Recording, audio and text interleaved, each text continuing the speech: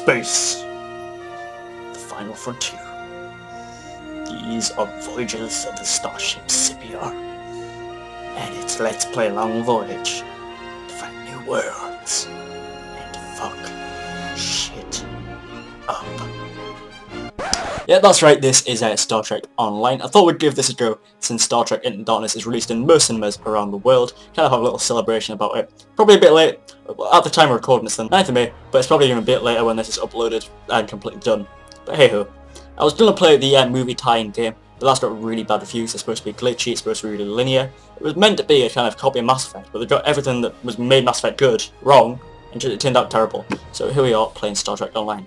This, again, had mixed reviews, but to a lesser extent than the newer game, which is what we're going to play today. And it does look pretty good. It's an MMO made by Cryptic Studios, and it's um, it's not really bad reviews, maybe, I don't know, 60 out of 100 is around the kind of score it got.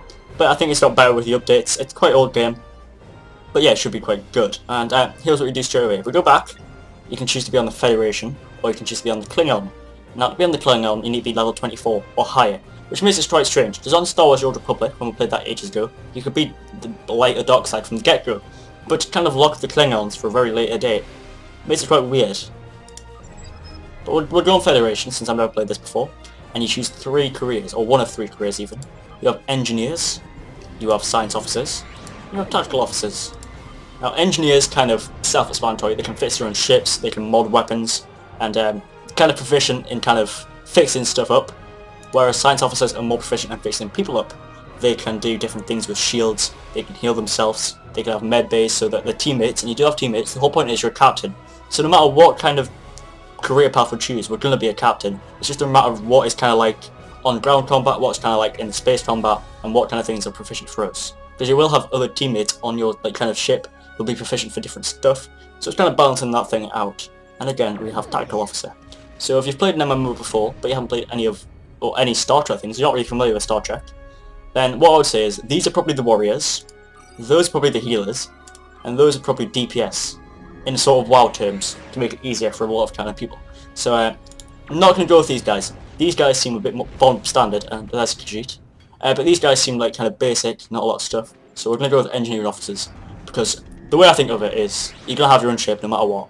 So it would be better that we could fix up certain parts of the ship without having to have someone else do it. So we could go and fix the main fusion reactor if we wanted to, and uh, we could fix our weapons and mod them, which might sound quite good. So go engineer.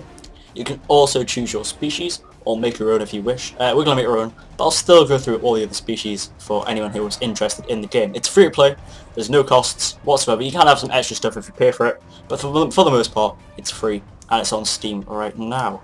So you have human. I don't know anybody who plays human on a Star Trek, or even just any kind of game, where it lets you play something else. You'd either be an elf, you would either be a fucking Bajoran, you'd either be Twilight, never human, never human. Why? But we'll have a look here quickly at the aesthetic. It's not really a backstory. You can read it if you want, pause the video. But I'm not going to read it all out, it would take hours. So Bajoran, Benzite, Betazoid. I think Next Generation there was a Betazoid on it, wasn't there? Half Betazoid, half human. She had like curly hair and she was telepathic. Can't remember her name. Bolian. Here's my worst enemy. Ferengi. I hate these so much. They're on Quark from Deep Space Nine is just so annoying. Just the race. What's the forehead doing? What's that? That's not natural. Then you've got these weird fucking monobrow ear connecty thing. Fuck you. If we ever find a Ferengi in this game, Federation or not, we're gonna kill them. We're gonna fucking shoot them in the head. Hate them. Pakled. Ugly as hell. Getting worse. I'm not, I'm not gonna lie, they get uglier as you go down I think he was in Deep Space Nine. What did I say? Why is that thing? How did that manage to get through the gene pool, right? How did that even manage to reach the egg, if that's how that works? I don't know, that's a different alien. But how, how did that how did that get through the gene pool? How is that a living creature? How's that being eaten by a rat? Look at it. It looks like a ghoul made love to a dwarf. And just made made this weird thing. And I never understand why aliens have hair. They never suits them. Look at that. Just weird. What's this? Trill? Probably most normal looking of the fucking lot, to be honest. And then we have Vulcan, which again will be a very popular character for people. I would say uh, Betazoid and Vulcan will probably be the most popular since they're in the TV show, since a lot of people know about them. Uh, what we're going to do is go with Alien. This means you can create your own lore, you can have your own kind of specs, and you can have your own kind of specific and special look. So we'll, we'll go next, we'll be female. Uh, you can choose traits for your character as well. It's better to have your own race for these kind of things because you can choose it as a more wider scale. But we'll just go down here, uncheck everything and pick it for ourselves. So let's go around it. Uh, accurate acute senses, aggressive, astrophysicist. Probably go for a stealthy character. I'm not sure if this kind of has like kind of dialogue trees where you choose what you say. If not, we'll just go for a stealth character. Uh, well, now the way it works is you have like ground crates, which work when you're down on the ground and you're like in combat with guns and speech and stuff, and the space traits where you are kind of fixed with the spaceship. We'll choose two for each since you have four, so we'll have covert and uh, captain. That's sorry, so that's space. That's one of each. Elusive, it's another space, and then we'll have lucky. So they're very much the kind of smugglers of the races, to be honest, or at least this one is advanced. This is where it gets quite nice. I know that Star Trek Online isn't known for its kind of character creation, but I think it's very nice. It gives Eve a run for its money, and Eve had a very nice one as well. So you can choose the way your hair looks.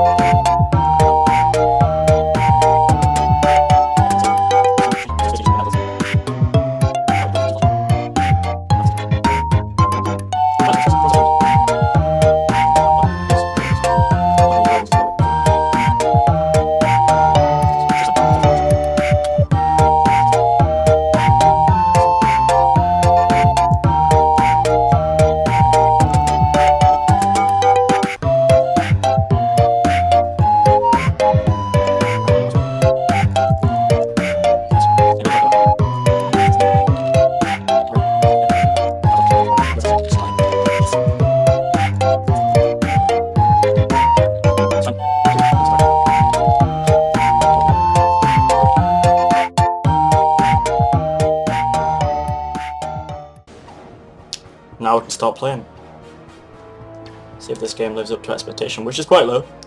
Being expected, but...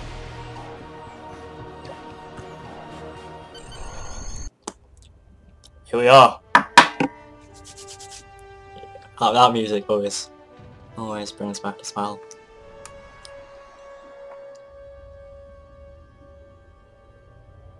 After I left Starfleet, I made it my life's work to reunite the Romulans with their Vulcan brothers.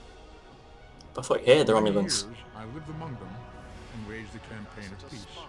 Live long. 21 years ago, the star of the Hobus system went supernova and sent a wave of devastation across the quadrant. He hates the Romulans. He'd never do that. The Romulan homeworld. Fucking Spock. The Swear down, there's an episode in the original series where he says he hates them and he won't do anything with them. millions were killed. My home, my friends. Even though all I don't know, are it makes no sense. Vulcans don't feel emotion, for one man, but he hates them. and neither does I history. don't know. The chaos in Romulan space gave the Klingon Empire an opportunity to expand its territory. Today, J'mpok, the Chancellor of the High Council, traded diplomacy for the tip of a blade. Alright. Only in battle, J'mpok Nope, says, the Iron Throne pose. The Federation did its utmost to preserve its alliance with the Klingons, but war was inevitable. Is that Jean-Luc?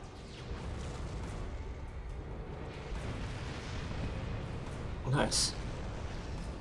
Romulans want revenge for their lost world. It'll be good when we get into space combat. Rebuilding its forces. Now the Borg have reappeared. Nope. The Vega colony. Nope. The Alpha Quadrant balances on the edge of ruin. The fate of the galaxy rests in your hands.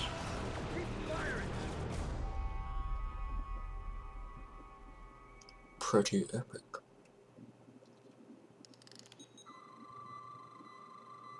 Alright, alerting welcome to Star Trek Online. Actually patching. It's a good way to hide this patching. Oh, here we are. Move around. WSD. Ensign, get over here and give me a status report. Okay. People you can interact with will have icons above their heads. You will encounter many different icons on your journey. There's an information icon. Right, I'll say move, hold your right button move your mouse. How do we go? Shift to run. No, no, it's down there, isn't it? Alright. Come on. Engineers. Alright, the Borg have attacked and Captain Targot needs all hands to battle stations. I need you to get to the bridge and help me coordinate our efforts with the Captain. Press M to find the room's exit. M. It's there. Alright, bye-bye. You can go see the Captain. Alright, so you're not a captain straight away, yeah. I suppose you become a captain throughout time. Uh, the captain speaking, all the hands to battle stations, repeat all hands to battle stations, continue.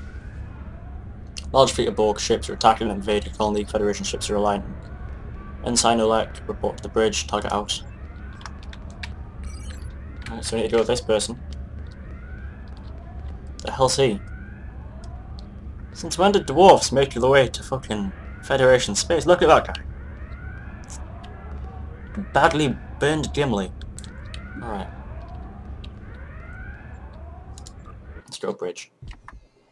I'm not sure how many of those were real people.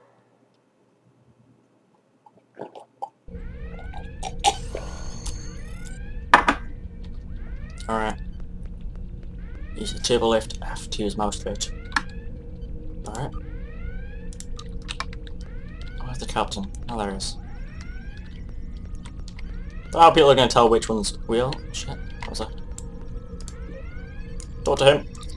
Alright, Ensign Olek, you're just in time. The Borg are attacking Vega Colony. Our orders are to join the fleet that was fighting the Borg. We may be too late.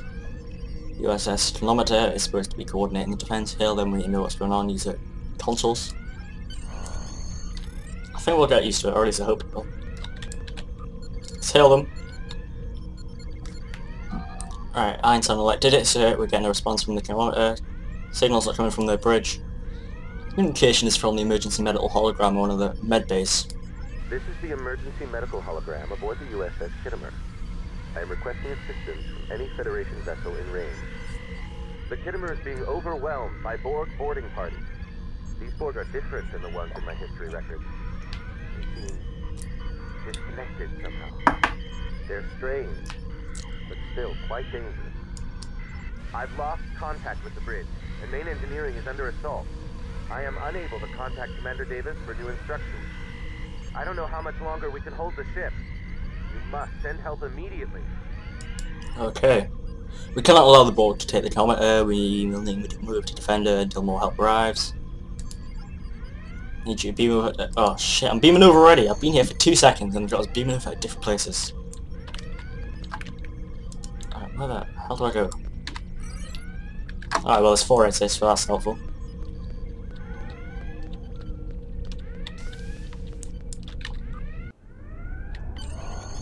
Alright. Beam me up, Scotty, apparently. And uh, we send you to the Khitomer to investigate the situation. Let's go. Oh. Is there a problem? Alright. Step on here. Beam me up. We that. But yeah, another reason why this is better than the movie tie-in game is because it's not really based on that kind of Gears of War combat that was so famously used in the newer game. It's a bit more interesting. I mean, it does have combat. It'd be a bit weird without combat, but it's more about it's more based on the roots of Star Trek. Fucking bouncing everywhere. Help at last. I am an emergency medical hologram, not a miracle worker. I need your help, Ensign. Much of the Khitomer's crew was injured in the initial Borg assault. None of the crew assisted me. Use your tricorder to scan one of the patients. Your data will be uploaded to Scan the patients. There are advantages to being a hologram. When you're Alright. done, report back to me.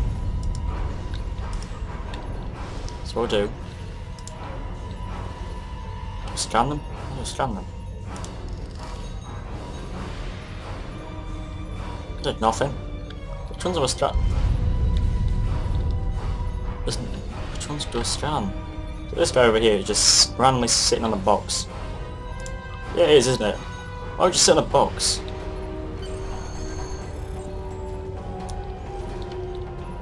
No. You'd have thought you'd be able to just walk a couple of centimeters over in that direction and touch a man who's lying on the box. No, no, you're lazy machine, aren't you? Not bad, Ensign. Not bad, I just walked over there and touched him. Don't fucking do much.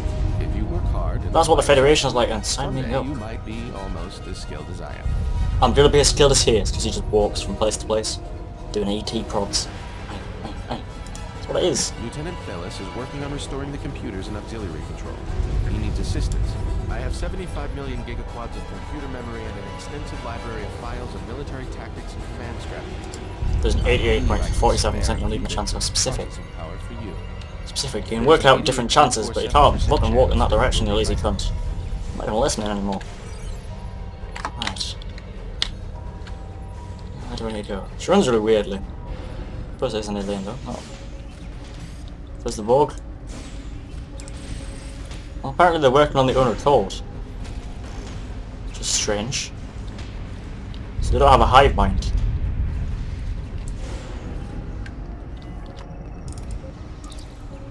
I can't fix these computers and deal with the Borg too. If you'll help me, we can get them off the ship for good. Don't know uh, why they're acting this way. Some are vicious, la da da da. It's a pretty violent glitch. Alright, where's the computer? This one? If this disables the force field, then I'm gonna cry. Is that it? Good work. Uh, now you can rem- uh,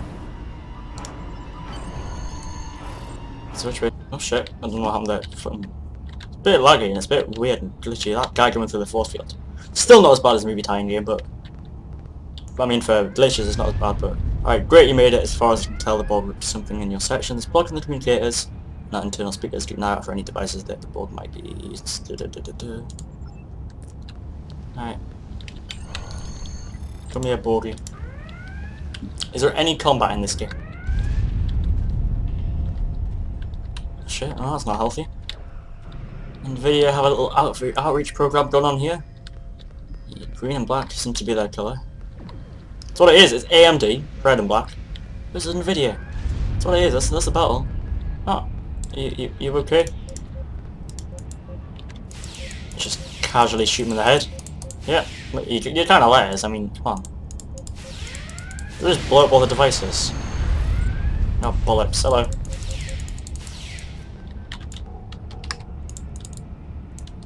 Punch the air in excitement. What I, what am I supposed to be shooting at? So just shoot everything. Shit, fuck off.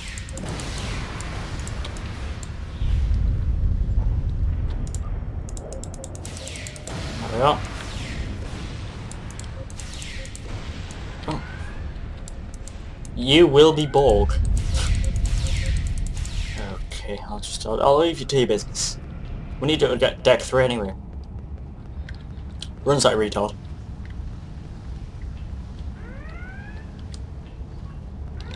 Hitch the holster. You to wait for everything. What a holster it. It's G, isn't it? Oh, yeah.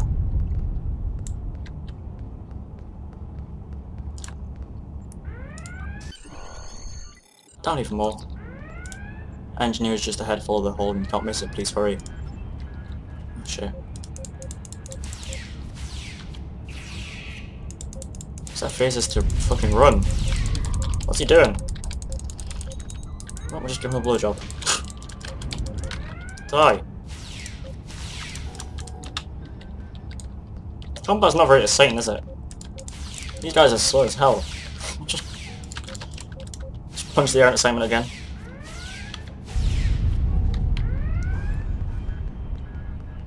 So...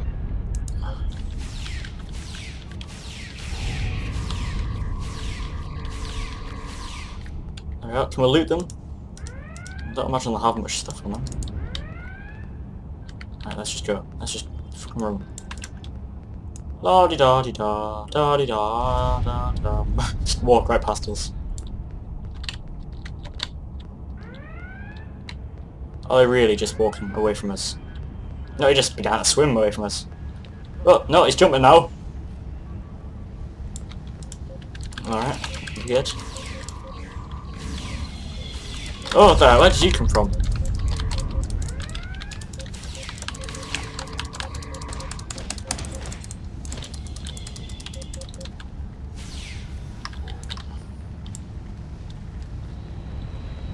Is that the guy we're talking to? A kick-ass beard. Space Vikings. The Borg are making the final push, head down for the ramp and take position behind the barricade and help us defend. Holy shit. Fun to jumping, aren't they? It's because I keep pressing 3, that's why. That's why I keep punching all the time.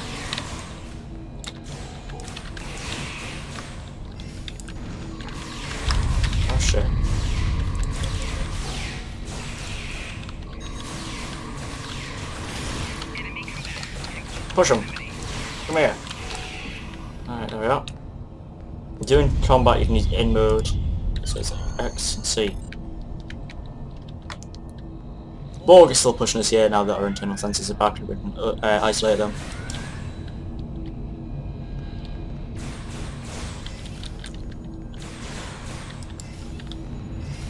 Head east around the warp core. Is, which way do we go? Didn't outfit us with space compasses. Right, this one. way. Oh.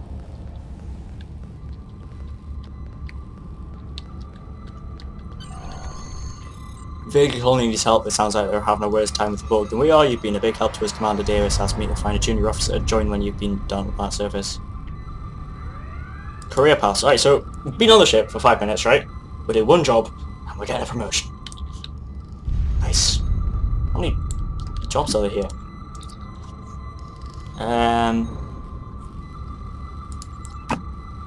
So what we're doing is it's fucking... A careers day. Really? Shit's getting blown up. Borg are in fucking invading the whole ship. People are dying. Here, let's talk about future careers. Oh, fine. Look at fucking face. I don't really care, to be honest. Don't really care.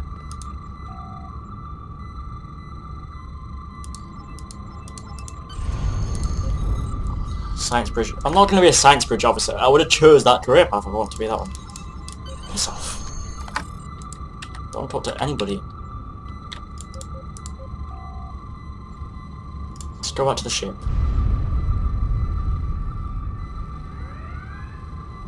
Change your wheel up. We got we got somebody with big antlers for some reason. Beat my ship.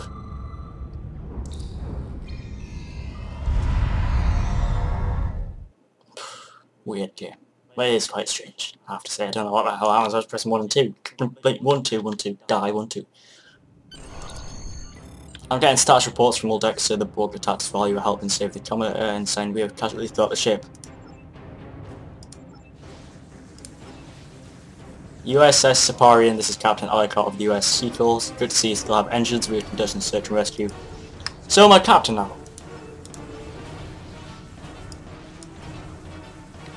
So we can...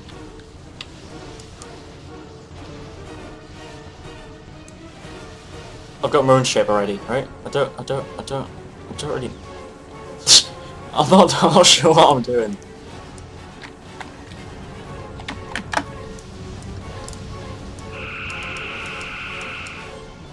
Warp to full speed.